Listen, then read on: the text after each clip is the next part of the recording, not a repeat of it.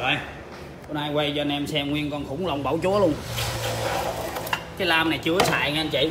Cái lam này anh chị mua năm sáu trăm ngàn ít đó nè, mà anh chị thấy trong chỗ em không? Em để máy giờ nó xét nè. Cái lam này là chưa xài, em chỉ gắn kiểu vô thôi nha anh chị. Đó, rồi em cho anh chị xem nè, cái này nó dơ nha. Đó, nó dơ.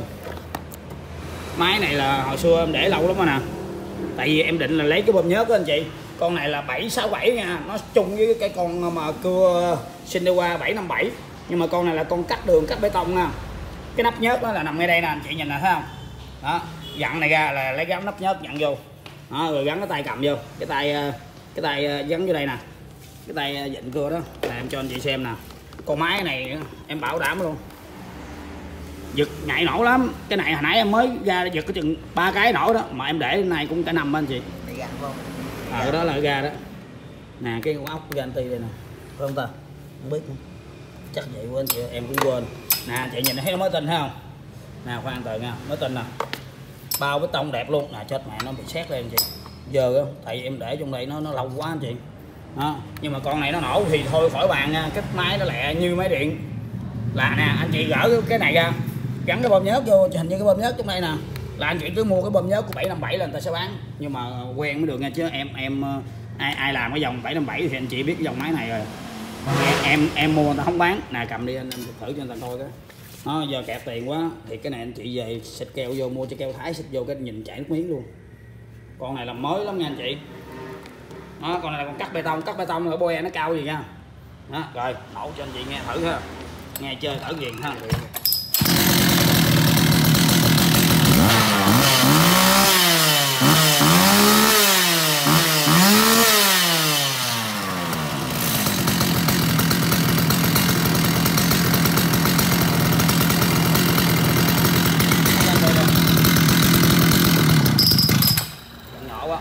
đây là em dịch có phải con người luyện em á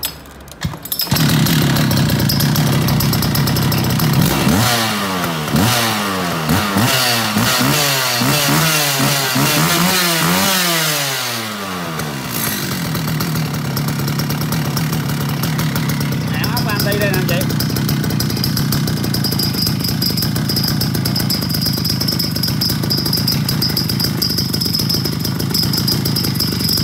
Cái kêu quá chị